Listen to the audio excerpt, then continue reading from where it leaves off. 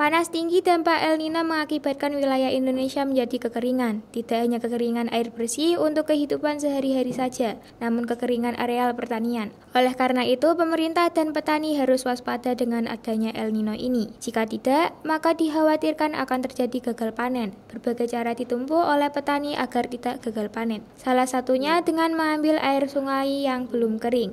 Tidak hanya itu, petani juga berusaha membuat sumur di lahan pertanian agar air pertanian bisa tercukupi. Anggota DPR RI Komisi 4 Firman Subagio menyoroti fenomena El Nino ini. Penghijauan di area pegunungan yang menyimpan sumber air harus dilakukan. Sementara itu, penambangan harus dihentikan sehingga sumber air tetap terpenuhi.